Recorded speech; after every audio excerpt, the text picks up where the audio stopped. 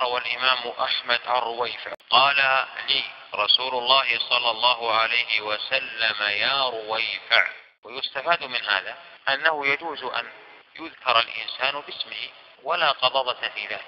لكن المعروف لدى العلماء أن أفضل ما يتشرف به العبد أن يكنى بأحب الكنى إليه.